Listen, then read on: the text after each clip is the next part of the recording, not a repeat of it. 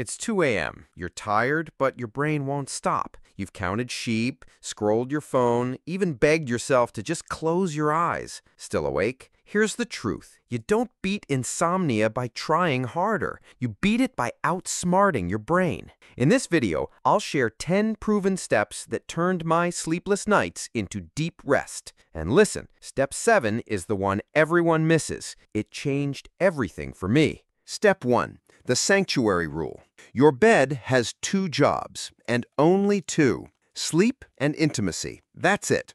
No more working from bed, no more scrolling through your phone, no more eating in bed. Your brain needs to associate your bed with rest, not with stress or entertainment. Step 2. The Digital Sunset.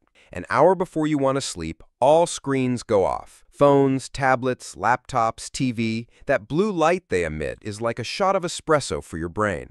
It tricks your body into thinking it's still daytime and stops the production of melatonin, your natural sleep hormone. Step 3. The 20-minute escape clause. This might sound crazy, but it's a core principle of cognitive behavioral therapy for insomnia.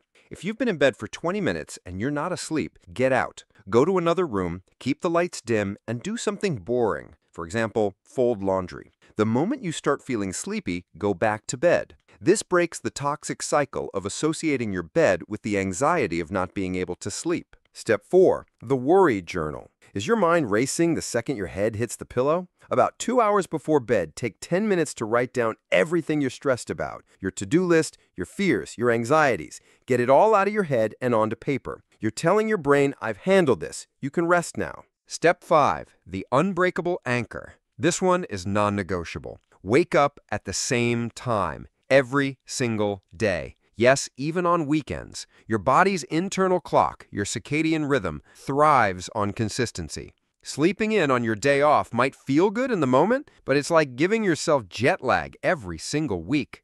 Step 6. The cool down. Your body temperature naturally needs to drop to initiate sleep, so help it along. Keep your bedroom cool. Experts recommend around 18 degrees Celsius or 65 degrees Fahrenheit. Taking a warm bath 90 minutes before bed can also work wonders. Step 7. The 10-hour caffeine curfew. You think you're being good by not having coffee after dinner, right?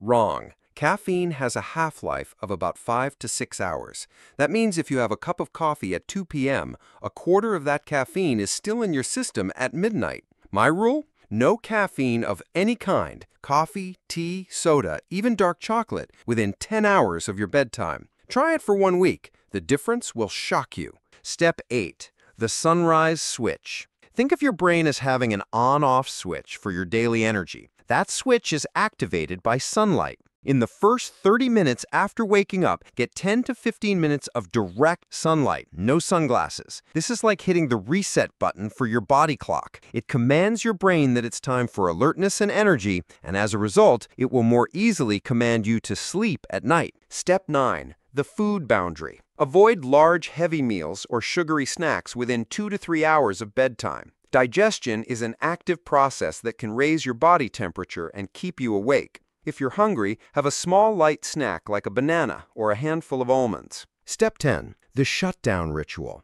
The brain loves patterns. For the last 30 minutes before bed, create a consistent calming routine for yourself. For example, 10 minutes of reading a book, not on a tablet five minutes of light stretching, and then listening to some instrumental music. Do these exact things in the same order every single night. This sends a powerful, undeniable signal to your brain that it's time to rest. This ritual acts like a bridge, carrying you from the stress of the day to the peace of the night. These steps aren't magic pills, they're habits, tiny but powerful. Start with just one tonight. So what's your step? Which one are you trying first? Drop it in the comments. And if this gave you hope, hit like, subscribe, and join me on this journey to master our minds and live fully. Until next time, sleep well, live fully.